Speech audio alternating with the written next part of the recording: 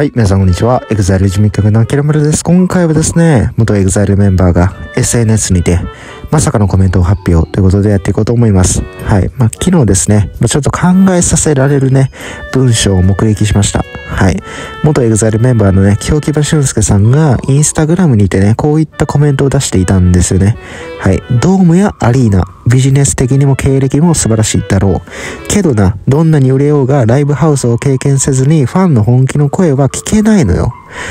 えー、最後のツアーがライブハウスで幸せだということで、まあ、これは別に LDH にね、えー、対して言ってるわけではないです、ケウゲバ様。ただ僕は LDH に重ねて考えてしまいましたね。はい。やっぱり LDH って、まあ、どんどん大きくなっていってるわけじゃないですか。ただ、古参ファンは、それと反比例してどんどん離れていってしまってるんですよね。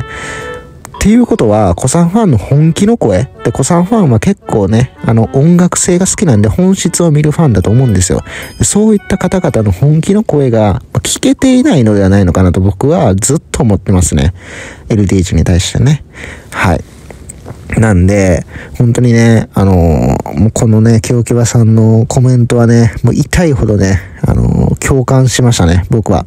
LDH は、この大きくなって何をしたいのかが僕はわからないです。何を目指しているのか。こんなにね、あの、ファンを新陳、新陳代謝して、何を最終的にしたいのかっていうのがわからないですね。はい。